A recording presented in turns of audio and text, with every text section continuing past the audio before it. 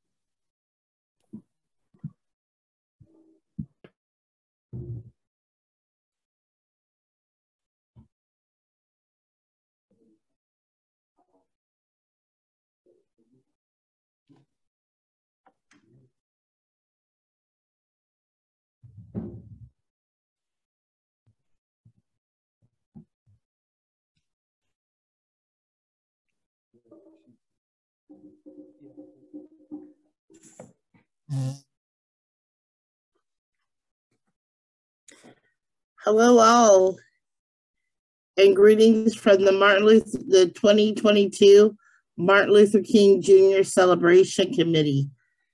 I am in awe of all of the beautiful faces that we see today on the screen, young and old. I'm excited to see all of the students. Uh, I do want to acknowledge our interpreter that is on to assist our um, Spanish speaking community members. Thank you, Mr. Garcia. We appreciate you greatly. We really strived this year um, to really be inclusive of everyone. We want to welcome you all. It is not a perfect situation, um, and we had to make a lot of tough decisions but we did not want to be remiss in including everyone in this celebration. Uh, Dr. King was for all people red, black, yellow, and white. you name it, all the colors of the rainbow. And that's what we see here today. Everyone is represented. Thank you so much for logging on with us. Looks like we almost have 100. We, oh, 99. What an amazing turnout, Yakima. We also want to thank our many sponsors, donors. We've had a lot go on over the weekend. Uh, I want to recognize you'll hear from pretty quick Assistant Mayor Holly Cousens and Councilwoman Byers. Um, and we just appreciate everyone that is here. We had a wonderful church service, first time virtual MLK church service yesterday. It was amazing for all those who logged on. People are still logging on. We've hit over a 100. So that tells us a lot about Yakima. Um, everyone loved the vision and mission of Dr. King. We hope that you enjoy what um, we have for you today, and it will be on um, the OIC Facebook for viewing later. Um, definitely invite those who weren't able to log on today and enjoy. Thank you again, and thank you to the MLK Junior Celebration Committee, those committee members who spent hours in helping us organize. We hope that you enjoy um, the program. Bye bye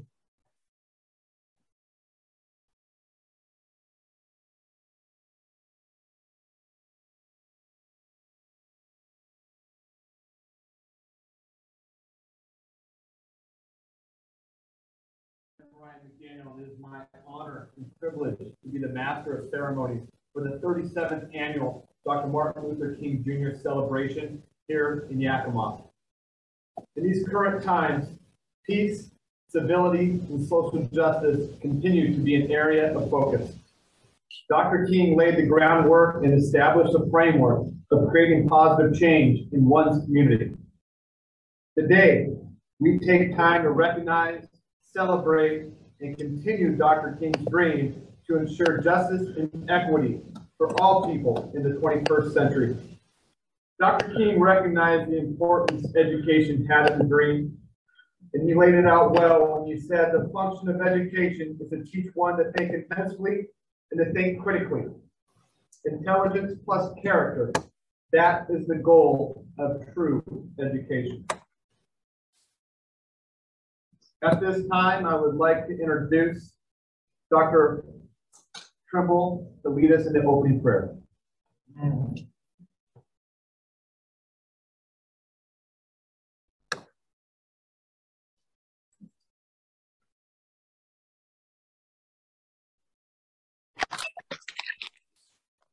We gather here this afternoon from all the corners of Yakima, We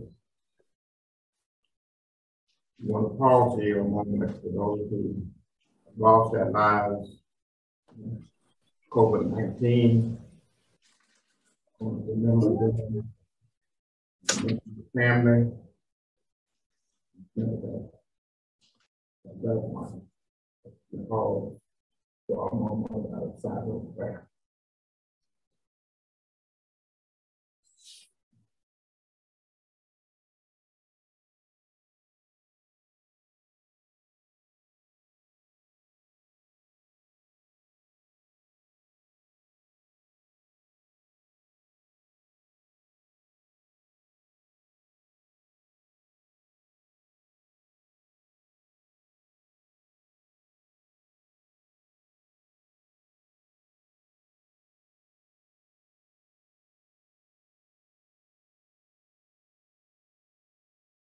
Oh God, our Heavenly Father, we thank thee for this golden opportunity this afternoon to come to thee, the only true and living God of the universe.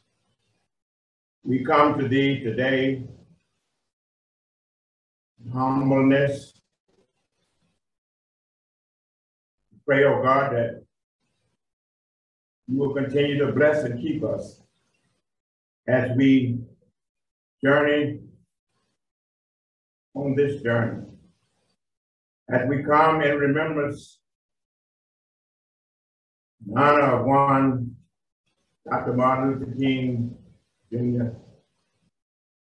Pray, oh God, we thank you for his life, for the message that he brought, not only to the United States, but his message all around the world. Teach us, oh God, love one another. Grant us an open mind, responsible hearts, that we may strengthen each other as we drink from that spiritual fountain of everlasting love. Keep us forever in your perfect peace. Help us to walk together. Help us to pray together, sing together, and live together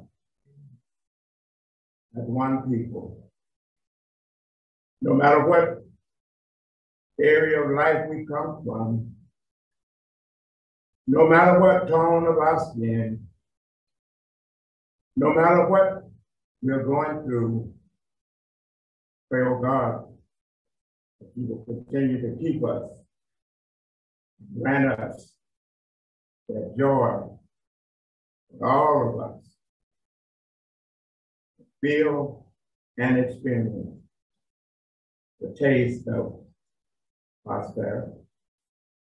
In his name we pray, your Son and his Holy Spirit. Amen.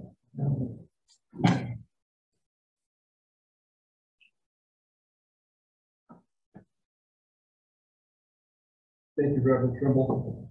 At this time, to lead us in the land acknowledgement, I would like to introduce the superintendent of the Yakima School District, Mr. Trevor Greene.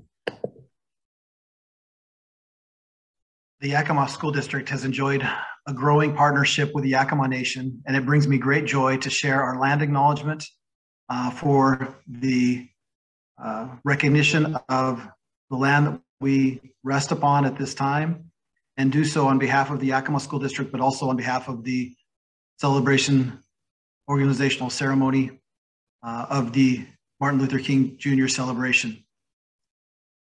Today, the schools and the boundaries of the city of Yakima rest on the ancestral lands of the 14 confederated tribes and bands of the Yakama Nation.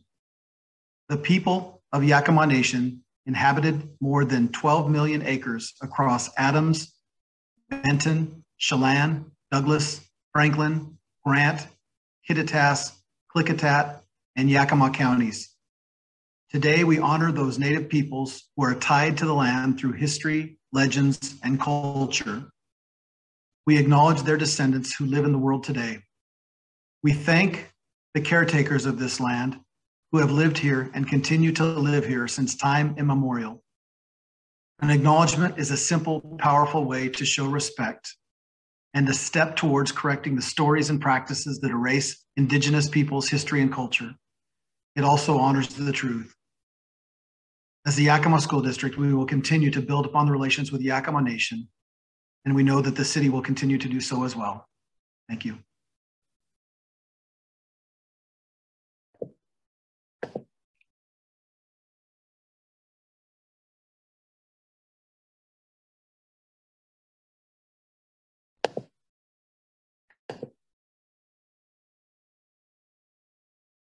Thank you, Dr. Greene. At this time, lead us in the Pledge of Allegiance in both English and ASL, I'd like to introduce Sage Peterson and Damien Mendez from Whitney Elementary.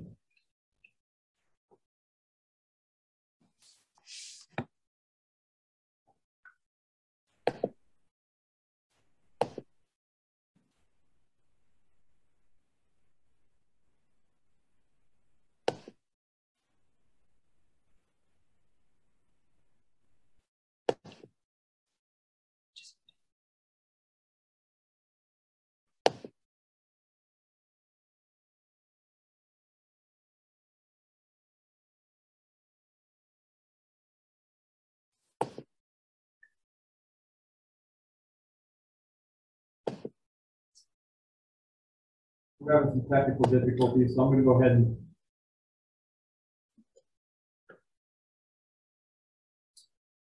Next, we're going to introduce uh, Jesse Avelino and Adali Vargas from Barge Lincoln Elementary to lead us in the Pledge of Allegiance in Spanish.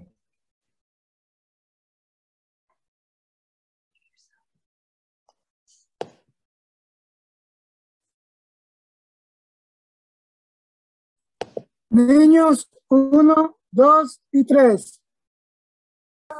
Yo prometo lealtad a la bandera de los Estados Unidos de América y a la república que representa una nación bajo Dios indivisible, con libertad y justicia para todos.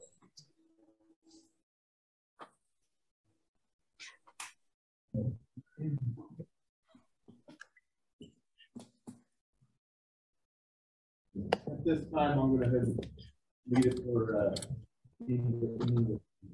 get up and me. I pledge allegiance to the flag of the United States of America, republic one nation, under God, indivisible, liberty and justice for all. Man,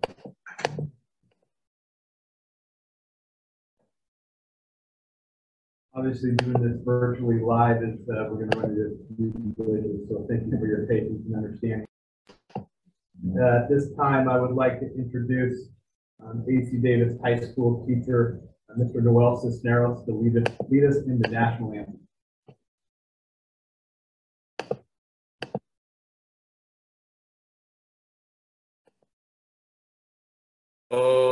Say, can you see by the dawn's early light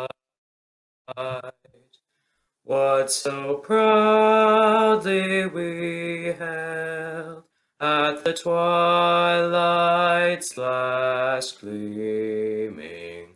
whose broad stripes and bright stars through the perilous fight o'er the ramparts we watched were so gallantly streaming, and the rockets' bright glare, the bombs bursting in air, gave proof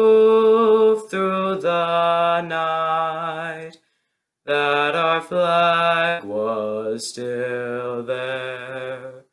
Oh, say does that star-spangled banner yet wave o'er the land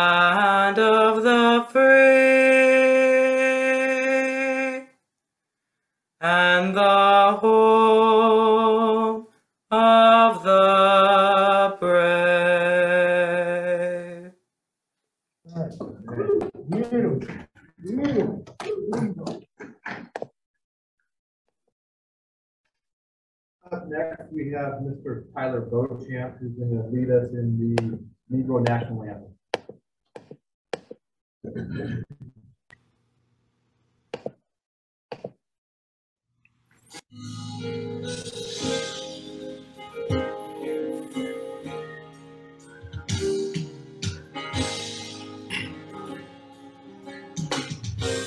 Lift every voice and sing till earth and heaven rings.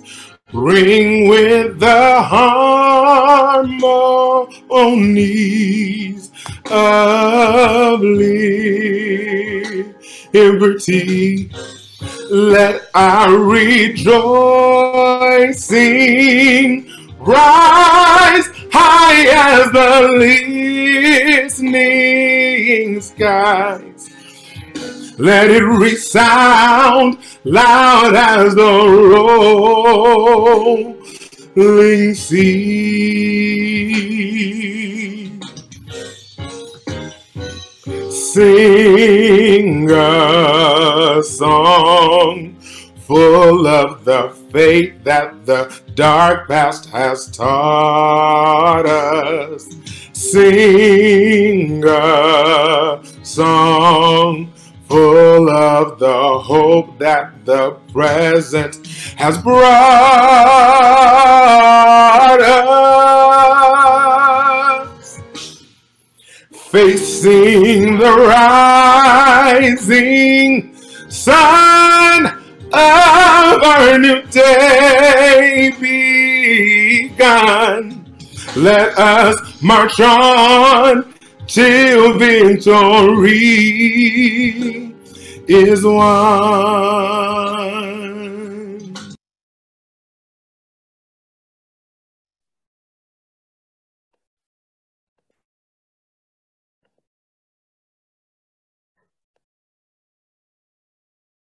Thank you to both Mr. Cisneros and Mr. Beauchamp. Well done. Up next, we have Assistant Mayor Paula Cousens to lead this agreement. Thank you. Thank you so much for inviting me here today to be part of such an important celebration. I appreciate each and every one of you for joining us via Zoom in this unprecedented times that we have. As we celebrate the birthday of Dr. King and share his dream, let's honor him by continuing his work, his legacy. His dream was not meant for him, but it was meant for all of us. Even though we face difficult times today and even tomorrow, his dream is still deeply rooted as the American dream. He said that it was his dream that one day that we will rise up and live out the true meaning of the American creed. We hold these truths to be self-evident that all men are created equal. We still have so much more work to do, but we can start by honoring Dr. King Jr. today and every day by taking his legacy and living out his dream, by teaching each other equality and celebrating our diversity, by not judging someone by the color of their skin, but by the contents of their character. I stand here today on Zoom as a Jewish woman who had parents who marched with Dr. King.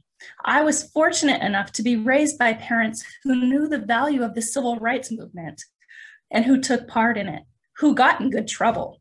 I'm aware that not every child had that, but growing up in Yakima in an environment having Miss Esther Huey and Mr. Steve Mitchell as my mentors, I grew up knowing and honoring Dr. King's legacy. The best way to find yourself is to lose yourself in service of others. Dr. King said that one day, all God's children will be able to sing with new meaning, My country, tis of thee. Sweet land of liberty, from every mountainside, let freedom ring. Let freedom ring from the snow capped Rockies of Colorado. Let freedom ring from the stone mountains of Georgia, and let freedom ring from the streets of Yakima. On behalf of the entire Yakima City Council and the Yakima community, welcome to this year's Dr. Martin Luther King Jr. celebration. Thank you.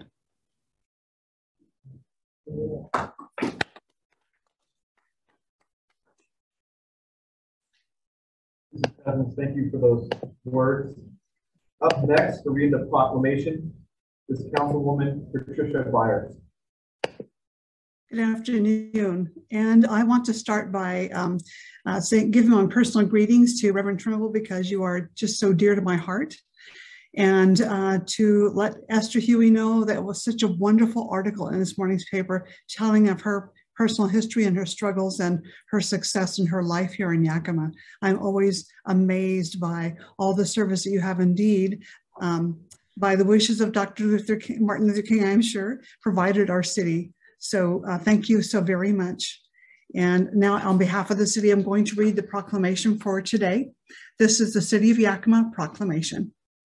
Whereas Dr. Martin Luther King Jr. devoted his life to advancing equality, social justice, and opportunity for all, and challenged all Americans to participate in the never ending work of building a more perfect union.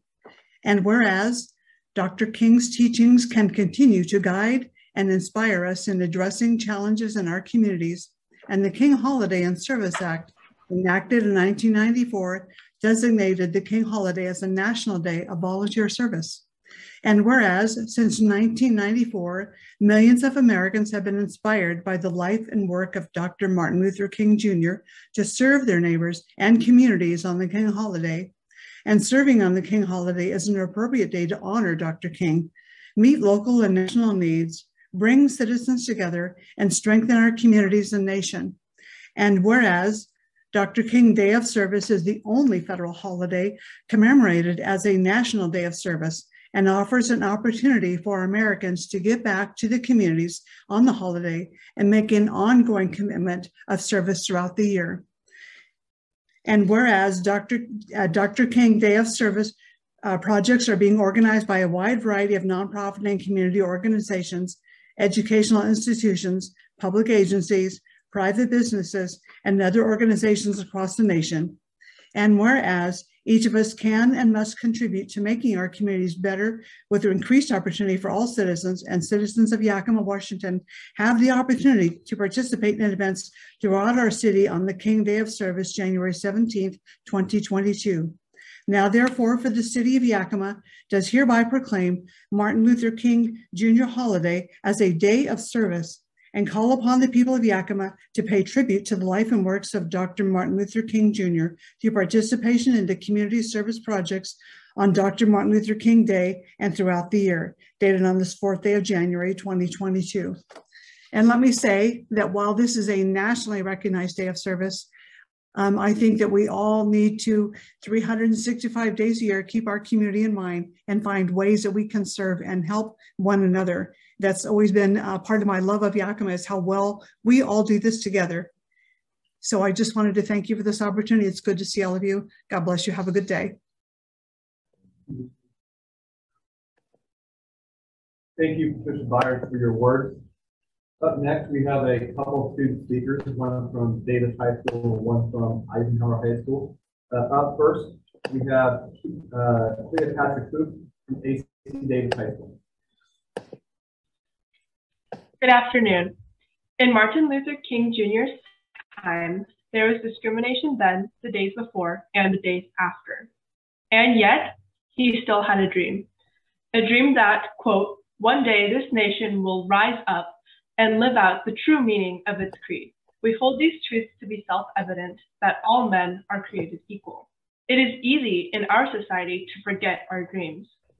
When headlines flood with discrimination, inequality, and inequity, the last thing we think to do is to dream of a new world. But a leader like Dr. King paved the way to have the possibility, the will, and the fight for a dream. And he has inspired many people from young to old, including me, to have the possibility, the will, and the fight for a dream.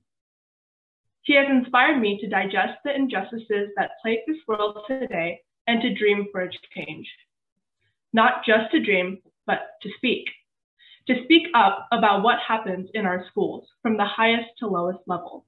To speak up about how our institutions and practices aren't always equitably practical. To speak up about how to make a change and how to make that change step by step and day by day into something feasible and tangible. Our society has come a long back when Dr. King pressed forward in the civil rights movement. Our society still has a long journey ahead. But I speak to this with the hope and faith that this Monday no longer serves as a three day weekend. No longer and never has it served as a day off from work or school.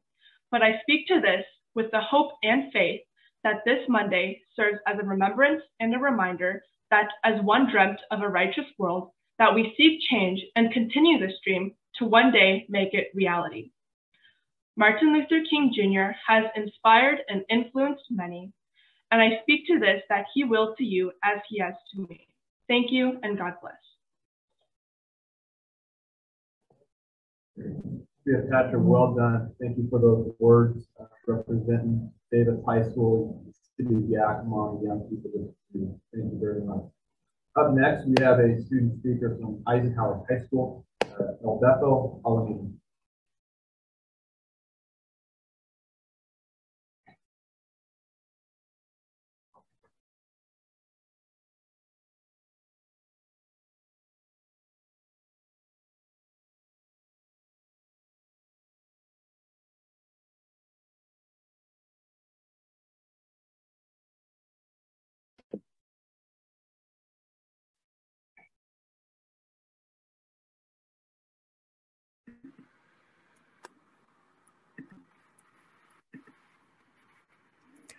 The ultimate measure of a man is not where he stands in the moment of comfort and con- convenience, but where he stands at a time at times of challenge and controversy, which I find to be one of Martin Luther King's greatest quotes.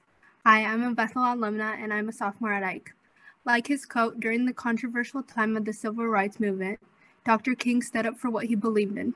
His actions not only affect me, but the lives of everyone in America, specifically the lives of people of color. His actions have allowed me and people like me to be able to attend the schools of their choice, to go to the public places that we want, and to be able to apply for jobs that we desire.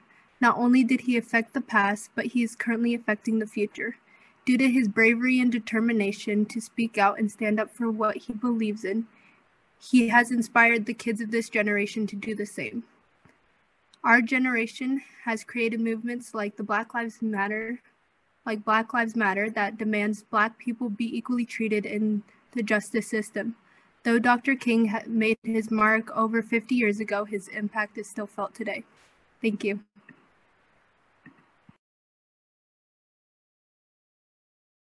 much.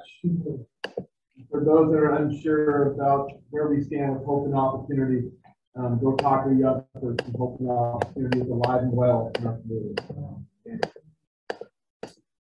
Up next, uh, we have the recognition of the Leaf Pageant Food Drive um, and the award that goes along with it. So I'd like to introduce Ms. Heather Hasty, principal at AC Davis High School, and Mr. Eric Diner, principal at Eisenhower High School.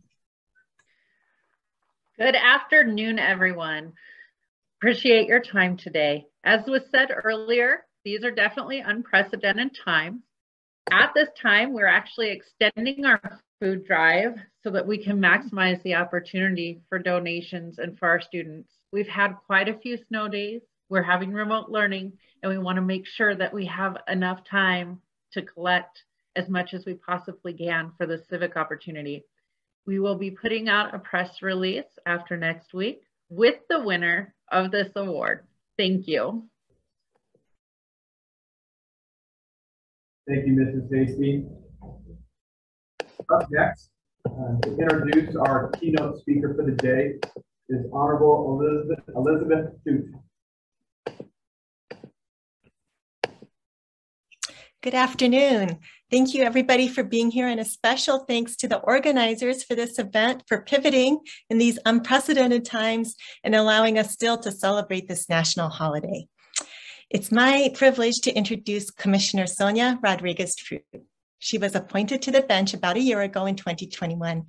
Before joining the bench, she ran a successful law practice, focusing on family law and representing vulnerable adults and children. Commissioner Rodriguez True is the first Latina woman to serve on the Yakima bench. She is a trailblazer. She was also the first Latina woman to serve on the Yakima City Council. Commissioner Rodriguez True credits her education as transformative in her life. She graduated from the University of Washington for both undergrad and law school. Her mother knew education was important and chose to enroll her in the Annie Wright schools in Tacoma for elementary and high school. Her teachers mentored and encouraged her. A shout out for all the educators who are here today. You do change lives. Now, Commissioner Rodriguez True is one of Annie Wright School's distinguished alumni. I first met Commissioner Rodriguez True when we were both new lawyers. We had to learn how to litigate cases and work with our clients. We also had to learn the court system and how to work with other lawyers and people in the justice system. And because we were new lawyers and women, we, had, we felt we had to work extra hard to earn our clients' confidence and credibility with the court. But Commissioner Rodriguez True, as a person of color, had more barriers. She experienced racism in ways that I never did. I had to learn that just because something didn't happen to me, it could still happen to someone else. It seems obvious, but it was an essential lesson to learn along the way. I had to learn how to be a reliable ally. But Sonia persevered. She is strong and brave, and she overcame.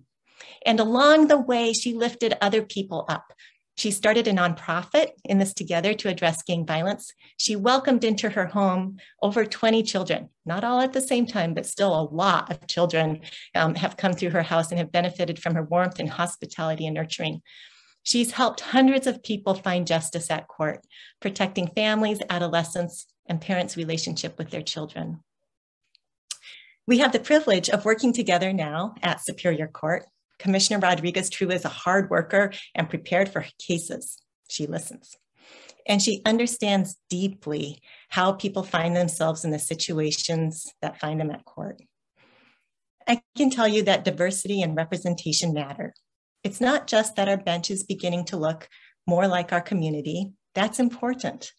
It's also because she helps all of us have deeper insights into our own cases and she challenges our assumptions. It is a privilege to work with Commissioner Rodriguez True. I am constantly awed by her compassion and her courage. Please join me in welcoming Commissioner Rodriguez True as a keynote speaker. Well, thank you so much, Judge Tutsch, for that warm introduction. Um, it has been a pleasure serving with you on the bench as well. And obviously, our friendship for more than 20 years now. We're not that um, old. it's an absolute honor, and I'm extremely humbled to give this uh, presentation. Um, let me just fix my, I, I'm a little off on Zoom here, so um, I would have definitely enjoyed seeing everybody in person, but I'm um, extremely just really honored and privileged to give this presentation today. I really wish I could address you all in person.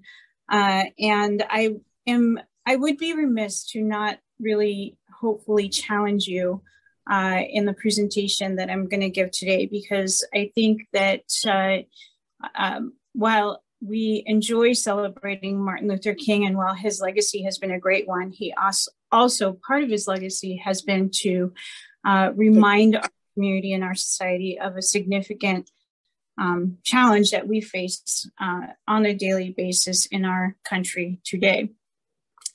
Uh, as, as Judge Tutsch indicated, uh, my husband and I have helped a number of children over the years. And most of these children, I think all of these children have been children of color.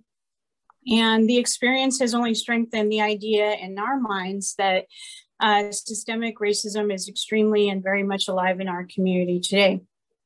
We know firsthand what our young people face.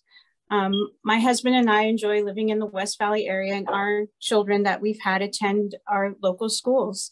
And I can tell you that every single child in our household has experienced racism in our community.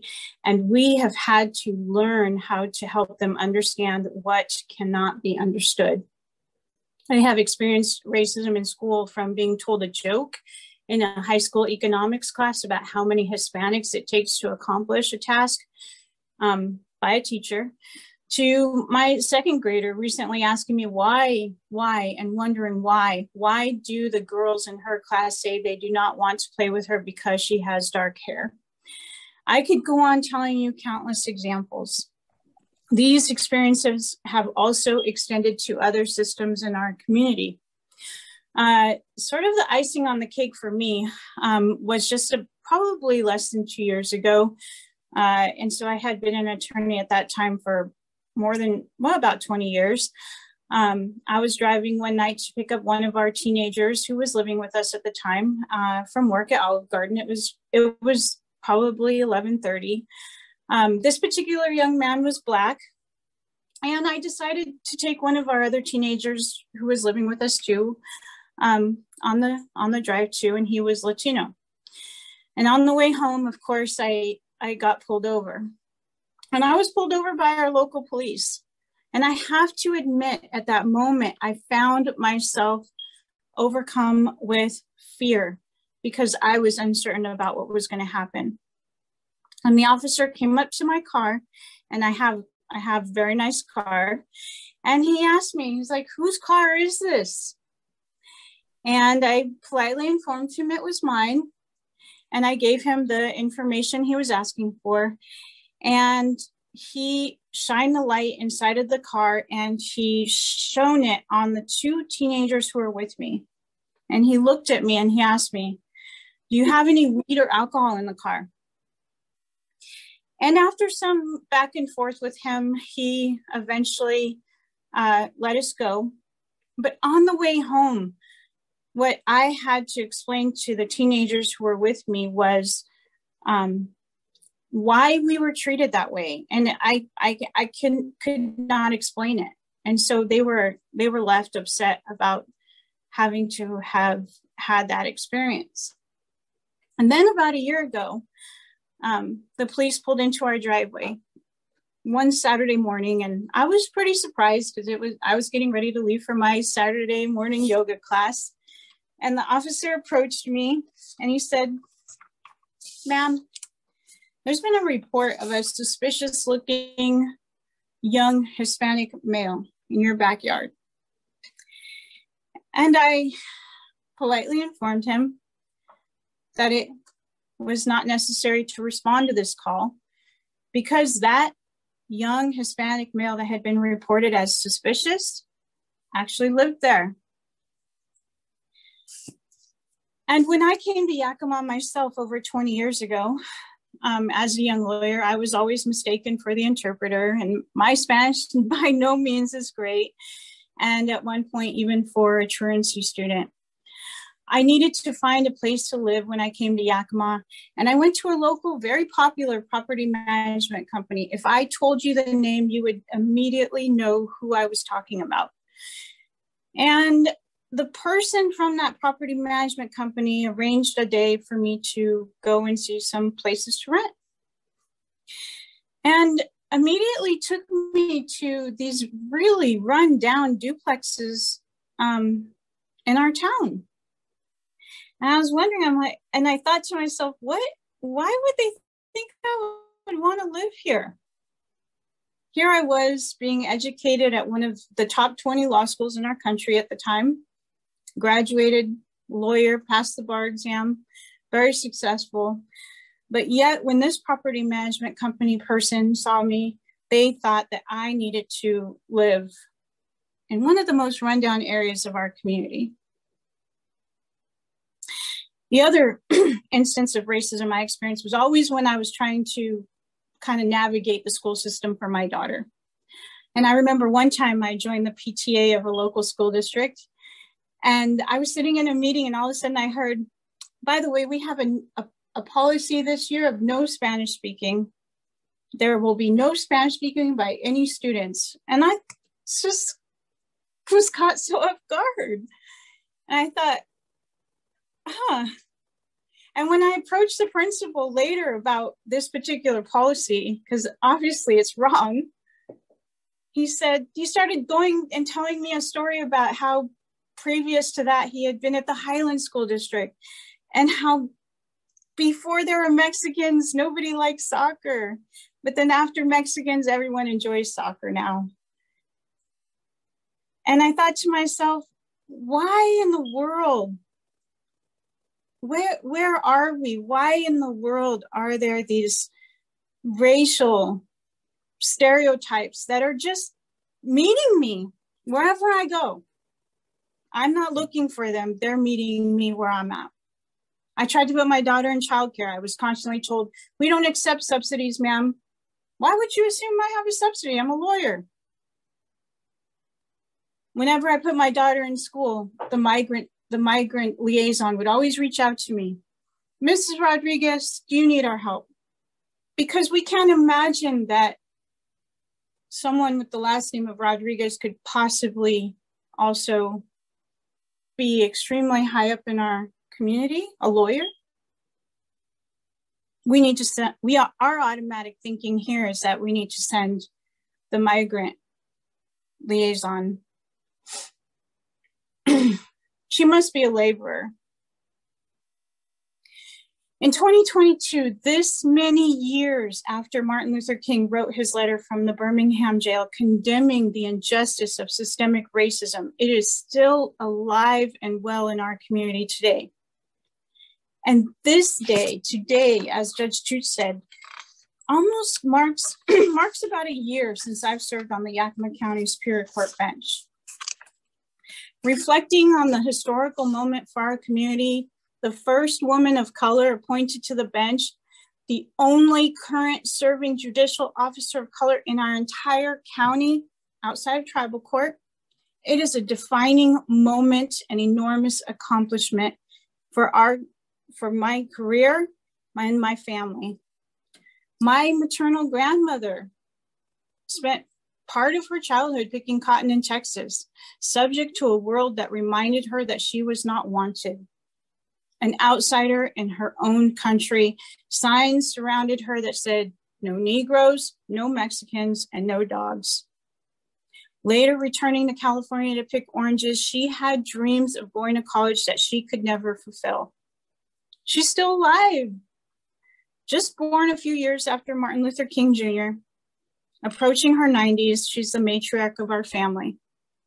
When I was appointed to the bench, I was given two judicial robes with my initials sewn in them. And I gave her one as a reminder to her that the struggles that she's endured over her life were never in vain. So I'm extremely proud I'm proud of what I can stand for. I'm proud that I I hope that I am example to children of color in our community that can look at me and say, I can be there. I can achieve my dream. I can get to where she is. This is the example that is important to me in my life, that anything is attainable. Yet, in all of this, I am weary with carrying the burden of being the first one in more than one area. The injustice of being the only one, a reminder that we, our community of color, remains outsiders in so many ways. We continue to be excluded from places of leadership. Sadly, the exclusion is not isolated to the court system. Indeed, we are also missing in places of leadership in government, schools, colleges, healthcare, businesses, corporations, and any and all entities that hold any social, economic, and political power. This is the reality of our community and the lack of opportunity. And despite people of color being the majority, the majority in our county, being more than 60% of the student population at the Yakima Valley College and more than 80% of the Yakima School District, somehow we continue to be excluded from these places. Let me tell you a story here to help us understand. Lily, my dear Lily, a 20 year old Latina student who lives with us. She's not related, but we met her a long time ago and we have tried to support and help for years. She has a dream a beautiful dream to be a pediatrician. She attends a local college and she's in her second year. She's earnestly pursuing her pre med course of study. My husband and I have committed to helping Lily with any opportunity to achieve this dream. Lily has demonstrated nothing but commitment and discipline to overcome the natural challenges she endured in her life being the daughter of a single teen mom living in poverty. She told us many times that how she grew up, she thought her choices in life were going to be to work in a warehouse or to be a lunch lady. Because in the world she lived in, that's where she saw the Latinos. But then this dream of being a doctor so recently, Lily met with her advisor at college for advising day. The goal of advising day, my understanding, is to plan classes for the next semester. And Lily shared with her advisor about her dream to be a doctor. Here is the opportunity. Please stop and realize that here is the opportunity many of us have in this moment to encourage, to help dreams become reality, because this is the only way things are going to change. Here's that moment. But instead, this particular advisor responded, What about nursing? Have you ever considered a career in nursing? And all at once, the disillusionment, the discouragement, and the diminishment of Lily's dream set in. And when she told me this story, she was filled with an extreme amount of self doubt, telling me, maybe I should be a nurse instead and not be a doctor. Maybe I don't have what it takes to be a doctor. Because why wouldn't this lady have told me what I need to do to become a doctor?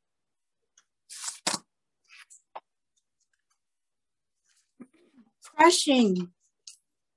But it was a dialogue that was familiar to me. For over 25 years ago, I heard the same message from an advisor at the University of Washington that caused me self-doubt and wondering why was I even dreaming big in the first place? In law school at the University of Washington, constant doubt about my qualification to be there was etched in my mind. At the time, the school was being sued for reverse discrimination. And as one of about 10 Latino students out of the entire student body at 140, I always asked, how were you able to get into this school? And it's that message, please hear me. It's that message of low expectation, doubt. You need to settle for less that has kept our community uh, of color out of leadership positions. Against odds, against odds, I have made it to be many firsts here in this community, and I love Yakima. I've been the first, I've, I've been honored and privileged to be the first Latina Yakima City Council person, the first Latina to serve on the board of directors for Memorial Hospital, Yakima Federal, Rotary, the first Latina to serve as United Way chairperson, and now the first Latina appointed to the bench. But we grow weary of being first, seeing no one else around us in these places, especially about 60 years after the legacy of Dr. Martin Luther King Jr. My fellow community members, we are called to serve each other in brother and sisterhood. We are called to care about one another. In his letter from the Birmingham jail, Martin Luther King was responding to fellow clergymen who were being critical of him at the time. Why did he care about what people were going through in Birmingham? Why did he put himself in the position to go to jail for people in Birmingham? He was not from Birmingham. He responded, We are caught in an inescapable network of mutuality, tied in a single garment of destiny. Whatever affects one directly affects us all, indirectly. And we must be concerned with the injustice of exclusion and systemic racism.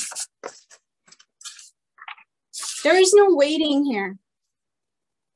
When I bring this up in any situation I'm in, on a board, um, in any position I have, I'm always told it's going to happen. Change is going to happen. But there is no waiting here. And when you're talking about the legacy of Dr. Martin Luther King, he believed there was no waiting. The injustice of the exclusion, the injustice of constantly being the one, the injustice of systemic racism must be addressed now. The status quo is unacceptable because it's unjust. And I want to ask you today, I want us to ask each other. This is something I ask myself. This is something I live by. Are we doing what we can to elevate people, to encourage their dreams, to remove barriers, to put them first and yourself second, to use our privilege to give meaning to opportunity, to benefit our community as a whole? Or are we waiting? Are we waiting because we don't want to be uncomfortable? Because we're waiting for the right time, the day that doesn't come? Are, is it difficult to interrupt the status quo? Are we waiting for somebody else to do it? Are we waiting for a time that will never come without our direct and unwavering action? For according to Dr. Martin Luther King Jr., in the same letter, he says, wait has almost always meant never. I call, I call for us to consider this challenge together today. Remember, the action that Dr. Martin Luther King at the, that was taken at the time was not popular. He was not liked for it. Many, including his own, his own supporters, thought he was extreme. People tried to hurt him and his family for what he was doing because he was willing and to take action to disrupt and question the status quo. If we are truly celebrating his legacy, it is worth our discomfort, the natural tension that must happen. He talks about it in the same letter to come together to correct our local injustice of systemic racism. It's not whether it exists, it's what are we going to do to make this a just and community for all. So I'm very honored to be here. Thank you very much. I appreciate you all listening. And I hope you enjoy the rest of your day.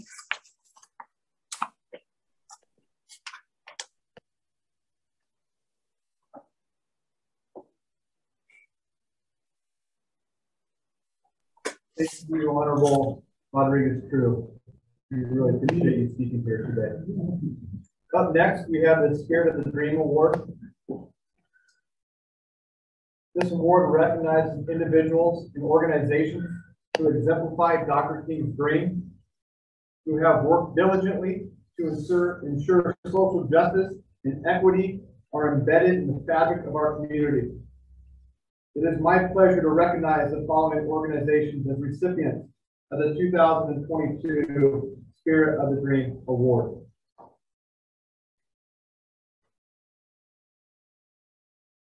The first recipient, the Asian Pacific Islander Coalition, the Yakima branch. Asian Pacific Islander Coalition brings together Asian Pacific Americans, including immigrants, refugees, and citizens to use their collective strength to empower each other and those within their diverse communities. They have been committed to connecting the values seen, heard, and felt in their communities and sharing their message to the larger political system that represents them at the city, county, and state levels. APIC fully supports naturalized, register, and vote. APIC of Yakima is one of seven chapters of the Asian Pacific Islander Coalition of Washington, affiliated with the Washington Community Coalition, Asian Counseling and Referral Service, founding member of the newly forming Yakima Community Leadership Coalition, the Yakima Valley Community Foundation, and APIC of Washington, Washington serve as the C3 fiscal sponsors. Without further ado, I'd like to recognize the Asian Pacific Islander Coalition Yakima branch. Representing them today is Dory Peralt Baker.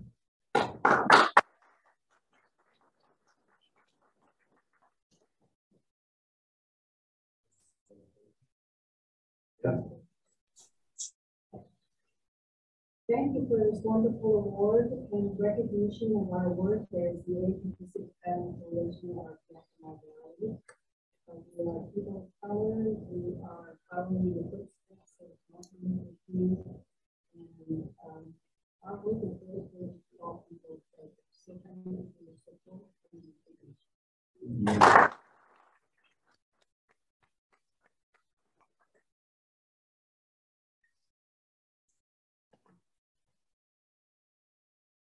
Next recipient is the Latino Community Fund of Central Washington. The Latino Community Fund cultivates new leaders, supports cultural and community-based nonprofit organizations, and improves the quality of life for all Washingtonians. To achieve its mission and address the needs of Latinos, LCF programs create a vibrant community through civic engagement, health, healthy families, arts, and culture. Latino Community Fund of Central Washington is one of several chapters connected with the Latino Community Fund of Washington State that informs and engages Latino community members to be more involved in shaping and advocating for environmental and climate justice policies. The Latino Community Fund of Central Washington.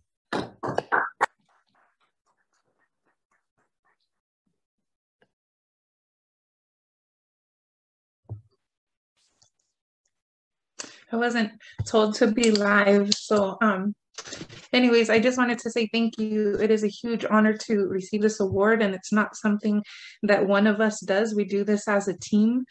Um, and right now online, I have all of, not all of my team members, but some very strong ones, Giovanni Severino, Lillian Ballesteros, Joshua Hastings, and also our new organizer, Armida Rivera. This is teamwork. This is why we fight. Thank you, Sonia, for telling your story because that just fuels our advocacy and um, just proves why we need to continue to grow to make positive change. Thank you so much.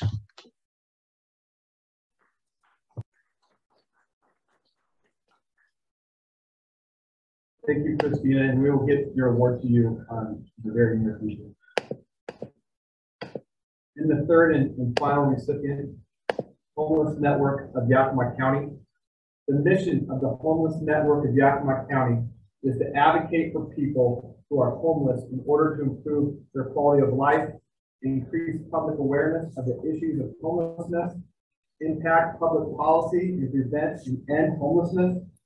The network focuses on, focuses on achievable strategies to move individuals and families experiencing homeless beyond shelter to permanent housing and self-sufficiency by looking at a comprehensive range of needs and developing the local capacity to the collaborative, collaborative efforts to meet these needs.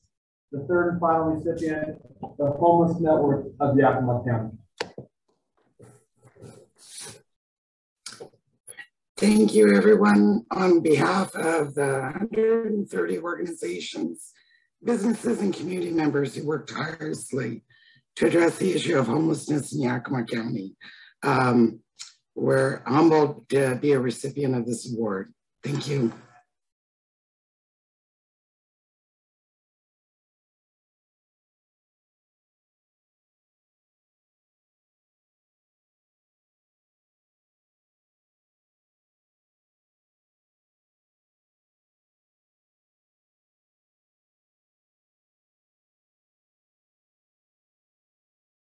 Close with prayer and song.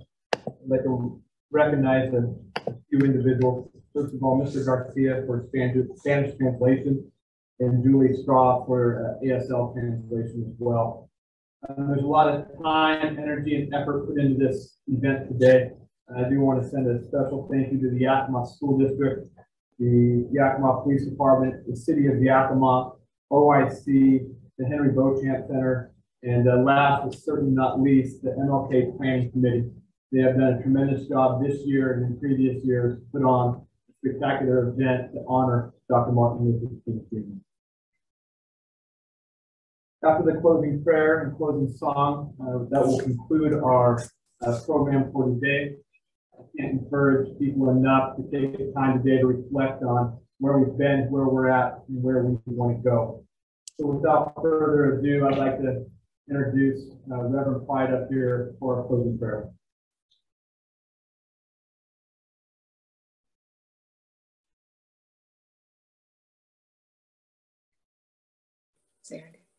Hi, guys. We're grateful to be a part uh, of this uh, great celebration. And uh, I was asked and I'm going to do that in just one second. I have had the opportunity to uh, to be, I want to say, a uh, bag barrier for Dr. Ralph Abernathy He came to Portland uh, some years back. He was, as we know, most of you know that he was right there with Dr. King doing marketing and all that. And he was doing a workshop and preaching for young preachers in Portland, and I was a part of that, of this attending.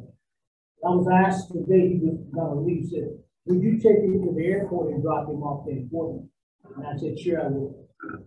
And as we were driving, uh, I, I, was listening. I asked him, I said, what can you say to I, I, community uh, that what that's going through then and what it's going through now? He said, let me tell you a story. He said, one day there was a truck driver who was uh, was a long haul truck driver. He drove all over the country. And one day uh, something happened where he fell asleep behind the wheel. He fell asleep. Uh, his semi and tractor and all that went over into a ditch and rolled over. Uh, cars behind him saw what had happened and uh, went on to say that they went looking down the seat and yelling, Are you okay? And by this time, he was climbing out of the cab and, and climbing to the to the, to the window part of the truck. He yelled back, Yes, I'm okay. And then he, and he, and he went on to say, Do you want us to get some help? He wants to send somebody back. He said, Well, yeah, that'll be fine. And he yelled back. And then he then they yelled back again, What do you want us to do? He said, Just tell my boss that I'm on my way back. Reverend, after that, he told me that. He said, Clyde, just keep doing what you're doing. And I say to us today, let's keep doing what we're doing. Amen. We, we in that. Let us pray. Father, in the name of Jesus, we thank you, Lord, for all that you've done and all the ones that have put in time, effort, and all of their strength to make this day what it already has been. And Lord God, we thank you. We thank you in advance, oh God, that your covering is over this entire valley. And Father, I pray in Jesus' name, you just cover, oh God, with your blood every part of this valley, not only just this valley, but the entire planet. Father, we thank you. Thank you for the strength. Thank you for the wisdom and understanding that you've given those ones that have walked this path before to be able to stand today and say, Dr. King's dream, we see part of a reality of it already. Father, thank you. Bless us now with your presence and power as we leave from this place, but not be protected care until we meet again. In Jesus' name. Hi, Jackie.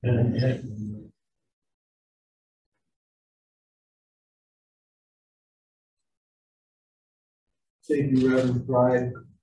And to close this uh, program out, I'm going to bring up Reverend Trimble to have the closing song.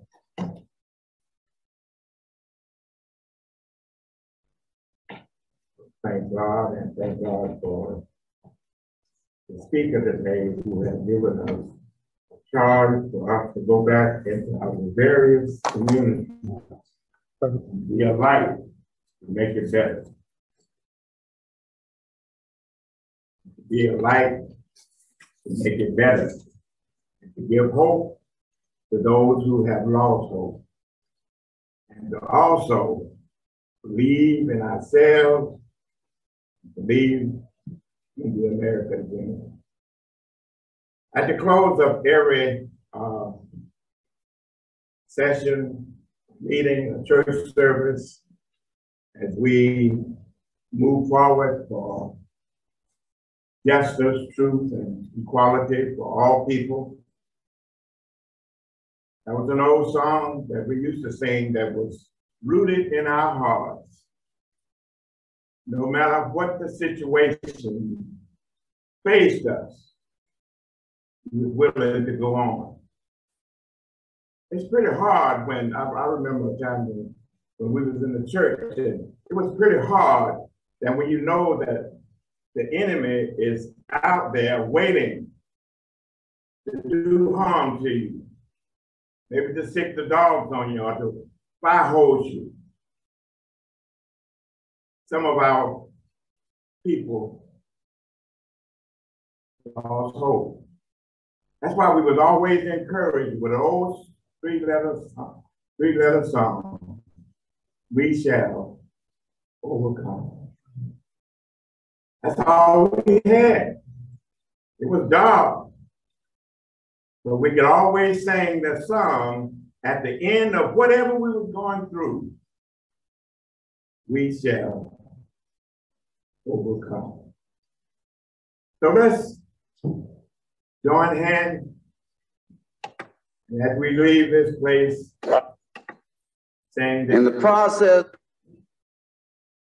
of working throughout the South and going to jail and getting beat and being in mass meetings and singing, there's one particular song that became the theme song of this movement. It is a powerful song. You can go anywhere in the world today where there is struggle and you will find this song and you will still see people in the streets marching and singing it.